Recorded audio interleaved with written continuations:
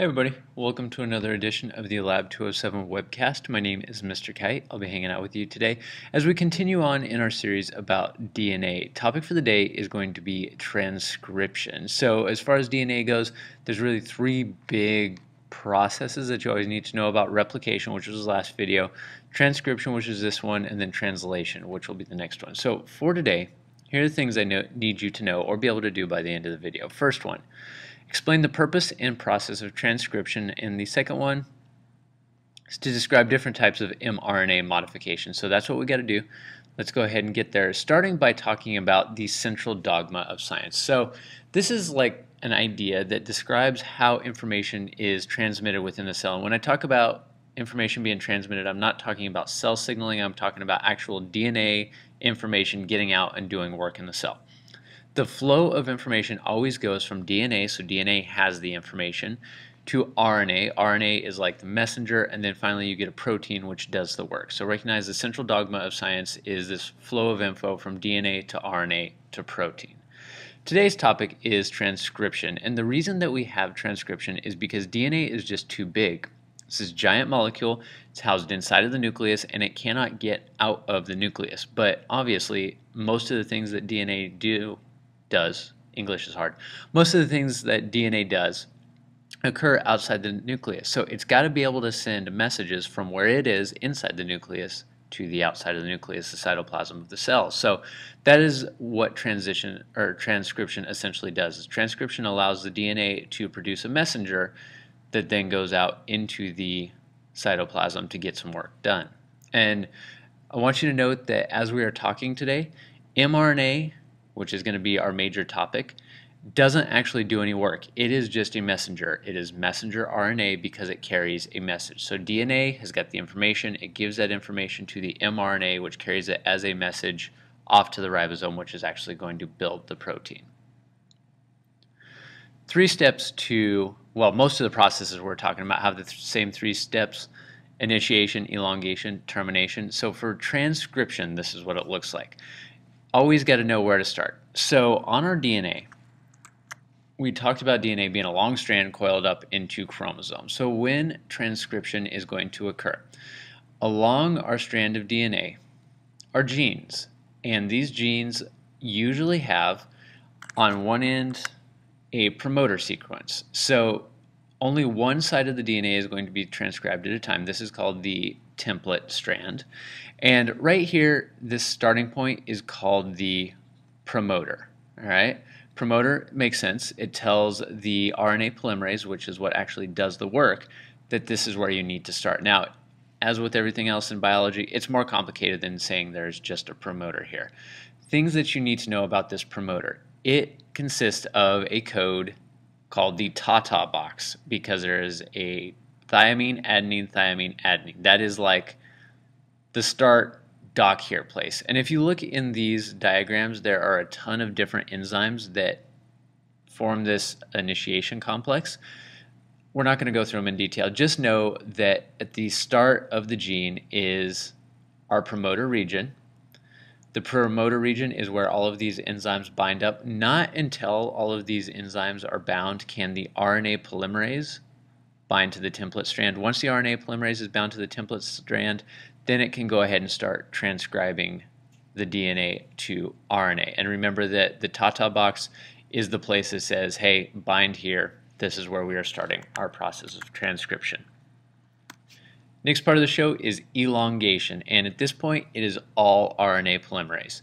Just like DNA polymerase, DNA polymerase matches up bases, RNA polymerase does the same thing, except for RNA polymerase is multi-talented. If you remember in replication, we talked about helicase going through and unwinding the DNA and separating the strands. Polymerase does the work of unwinding DNA, it does the work of separating the two sides of the DNA, and it does the work of matching up the bases and creating mRNA. So a couple things to note. Um, when we are in a strand of DNA and producing a copy in RNA, base pairing is important. So blue strand's DNA, red strand is the growing strand of RNA. T in a DNA always pairs to an A in uh, RNA. So that's that same T DNA R RNA. Sorry, words are hard. Let's try it one more time. T in the DNA is paired to A in the RNA. Here's the one that's different. If you have an A on the DNA, you have a U in the RNA. So usually in DNA, A pairs to T. If you're talking about RNA, A pairs to U. And then C to G is the exact same. So as far as elongation goes, we are making a strand of mRNA, which stands for messenger RNA. And this mRNA is what actually leaves the nucleus and goes to the cytoplasm. It is carrying the message from the DNA out into the cytoplasm where it can actually be done to use to do something. So this RNA polymerase cruises down the strand, unwinds it, unzips it, and then does all the base pairing to produce a strand of mRNA. Then obviously we have got to stop somewhere.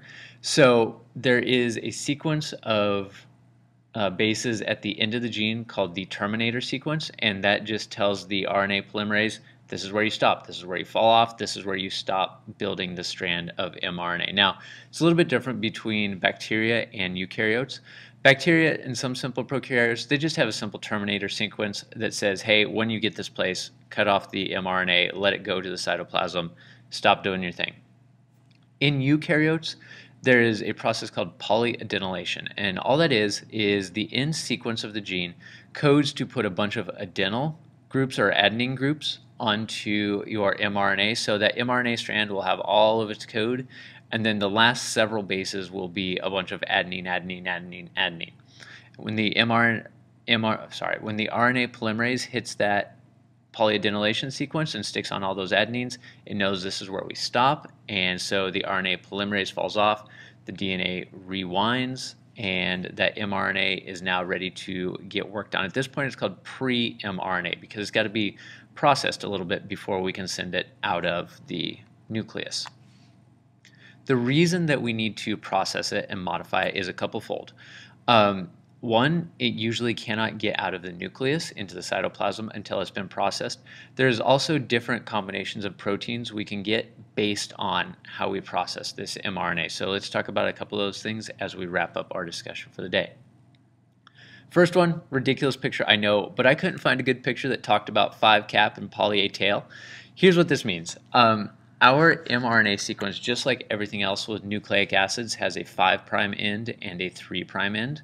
So let's say this is the 5' end. The 5' end gets a 5' cap, which is essentially a cap of bases that protects this end. On this end, gets a poly A tail. We already talked about the end of it having a couple of adenine groups on it. Poly A tail is just going to add a whole bunch more on there. Essentially what we are trying to do is we're trying to protect all of this information in the middle, so we're going to add an end to both sides to protect this RNA from being damaged or unraveled. The other thing that's important about this is if our mRNA does not have this 5' cap and the poly A tail, it cannot get out of the nucleus. So it's useless if it can't get out of the nucleus. Getting out of the nucleus doesn't happen unless it's got its cap and its tails. The other one that is really important is RNA splicing. Funny thing about DNA, forever, and I'm going to talk about an old model and a new model, forever and ever and ever, scientists thought that there were long strands of DNA that did not code for anything. They were there, but they didn't really do anything. So because mRNA is a direct like copy of the DNA, here's essentially what you would have. You would have a sequence that does code for some sort of protein, and then you'd have a sequence that didn't seem to have any information to make a protein, and then you'd have another part of the sequence that does make part of the protein.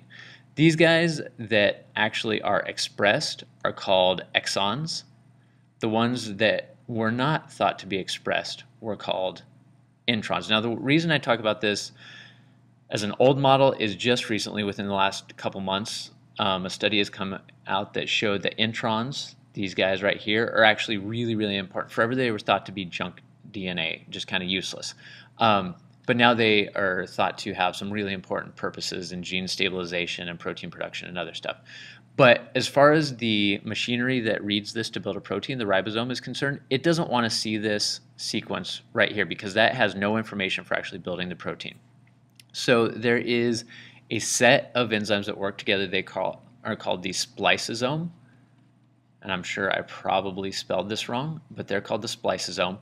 And their whole purpose is to cut out this intron and sew those two exons together. So you've got one continuous strand of information. That is called RNA splicing. Now, there, the body can take this and cut this intron in a ton of different ways to get a bunch of different combinations. And this is known as alternative splicing. Based on how the body cuts out this intron, you can get a ton of different proteins from the same essentially uh, sequence of bases. So let's say you cut the whole thing out and you get hemoglobin or part of hemoglobin. Cut just half of it out, who knows, you might get a muscle protein. But by choosing how much of this intron is cut out, the body can get different variations of the protein from the same sequence of mRNA. And final thing, kind of an outlier, Forever and ever and ever, scientists were sure that only proteins could catalyze this process of RNA splicing and repair and synthesis and all that stuff. In the 80s, there were some scientists, I believe it was at CU Boulder in Colorado, that showed that there are some types of RNA that can actually splice themselves. So let's say that they have got an intron that they need to cut out. They are actually able to coil over on themselves and cut out those strands of DNA and then reattach themselves. They are called ribozymes because they, in some ways, uh, serve the purpose of an enzyme, but they're also RNA. So just kind of recognize an RNA is an outlier in that it is able to carry out its own splicing without any, using any proteins or enzymes or anything like that. That was a lot of words. I hope you were able to track with it. Thank you for joining us on the Lab 207 webcast. My name is Mr. Kite, and hopefully we'll see you again.